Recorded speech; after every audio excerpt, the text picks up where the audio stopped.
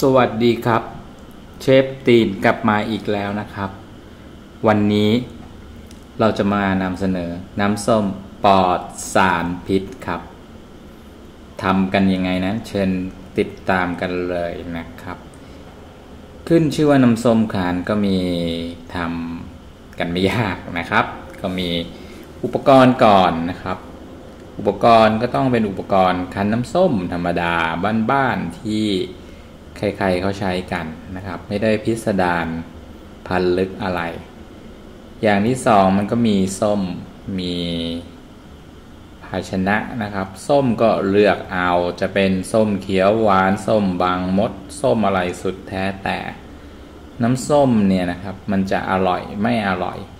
มันขึ้นอยู่กับส้ม เราก็เลือกส้มมาจากประสบการณ์นะครับ ถ้ามันไม่เน่ามันอร่อยแน่นอน ส้มสดดีที่สุดนะครับ อย่างแรกเลย เราก็เอาเปลือกมันเนี่ยนะครับ ทิ้งไปก่อน เพราะว่าไอ้เปลือกเนี่ยแหละนอกจากจะมียาฆ่ามาแมลงแล้ว มันก็ยังมีวงมีแว็กอะไรที่เขาชุบมาให้มันดูผลส้มเนี่ย เงางาม ให้เราล้างสะอาดยังไงก็แล้วแต่ เวลาที่เราเอามีดหั่นลงไปเนี่ย ยังไงก็แล้วแต่ มันก็ยังมีสารตกค้างต่างๆ หรือเวลาที่เขาขนส่งมามันอาจจะ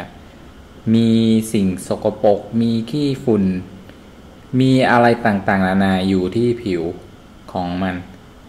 เรายิ่งไปเคลือบแว็กอีก มันอาจจะมีสารต่างๆ เกาะอยู่ไอ้ตรงแว็กเหนียวนั่นแหละครับ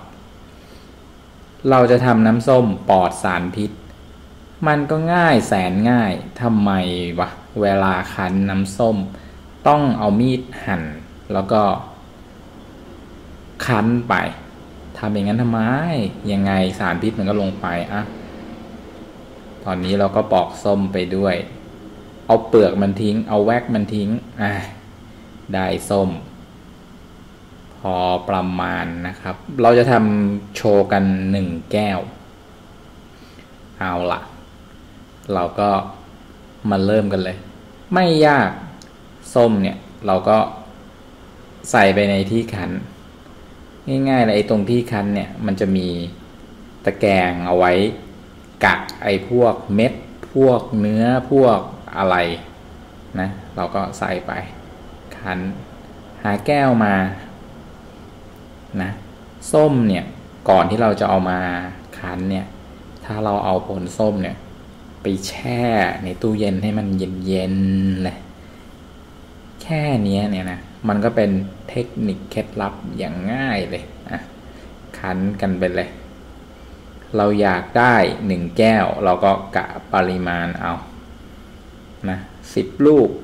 สิบห้าลูกอะว่ากันไป สุดแท้แต่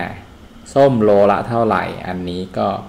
แล้วแต่เดี๋ยวนี้ก็มีสามโลร้อยโลหนึ่งสี่สิบห้าแล้วแต่คุณภาพอีกนะเลือกส้มมาแล้วเราก็เอามาคั้นมัน น้ำส้มคั้นสดๆ มีประโยชน์ มีทั้งวิตามินซีต่างๆ กินไปนะ ยิ่งตอนนี้ฝนตกนะอะจะเป็นหวัดเราเอาวิตามินซีเข้าไปเสริมป้องกันหน่อย แล้วเราก็ เตรียมกุ้งเตรียมแก้วอะไรที่เรามีอะเอามา ส้มเนี่ย เมื่อก่อนเลย เขาก็ไม่ได้เคลือบแว็กกันนะแต่เดี๋ยวนี้ ทุกที่ที่เห็นมันเคลือบแว็กกันหมด เงาเงาอะ่ะ แล้วเวลาที่ตามร้านตามป้ายรถเมย์ที่เราเดินผ่านหรือเราไปซื้อเขากินเนี่ย เขาจะคั้นแบบทั้งเปลือก เขาเอามีดผ่ากลาง แล้วก็ใส่ที่คั้นแบบเนี้ยอืม แล้วเราก็กินอะไรไปบ้างก็ไม่รู้ สรุปปอกเปลือกก่อน แล้วค่อยมาคั้น แค่นี้ เราก็จะได้น้ำส้มที่มันเพียบพร้อมไปด้วยคุณค่า แล้วก็ปลอดสารพิษ ถามว่าต้องใส่เกลือไหมไม่ อันนี้เป็นน้ำส้มแบบปลอดสารพิษเพียวๆ น้ำส้มสดน่ะ สดๆเลย จะอร่อยไม่อร่อยก็ขึ้นอยู่กับคุณภาพของส้ม เชิญดื่มได้แล้วครับ อย่าลืมกด subscribe ด้วยนะครับ โอเค แล้วเจอกันใหม่ครับ